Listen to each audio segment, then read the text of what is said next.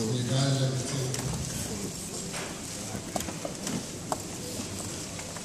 Now read.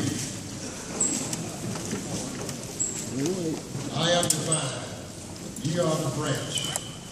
He that abideth in me, and I in him, the same bringeth forth much fruit.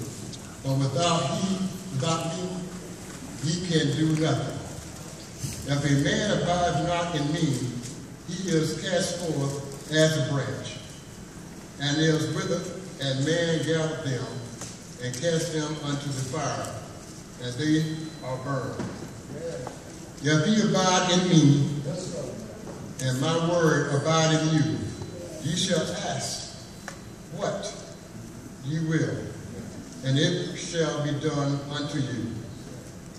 Herein as my Father glorified that ye bear much fruit, so shall ye be my disciples.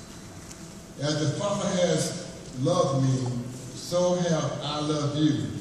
Continue ye in thy love. 10.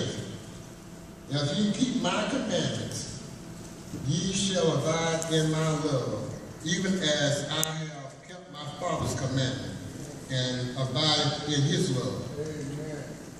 These things I have spoken unto you, that my joy may remain, remain in you, and that your joy might be full. This is my commandment, that ye love one another as, as I have loved you. Gather, greater love has no man than this, that a man lay down his life for his friends. Ye are my friends, if ye do whatsoever I command you. 15.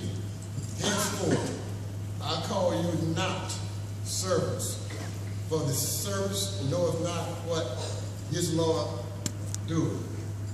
But I have called you friends. Yeah, Lord. For all things that I have heard of my Father, I have made known unto you.